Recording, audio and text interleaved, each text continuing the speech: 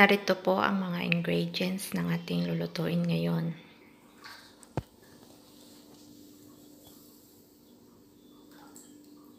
Eggplant, onion,